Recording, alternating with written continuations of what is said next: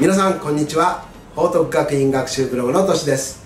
今日は沼津にあります加藤学園行修高校のオープンスクールのお知らせをします、えー、対象は主に中学3年生。主にということは別に中学1年生中学2年生も参加してもいいよということですね。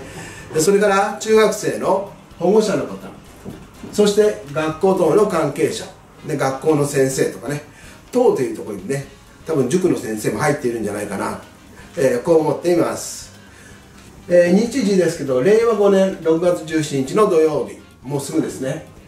で時間はですね8時45分から受付開始で9時から12時までがオープンスクールになります。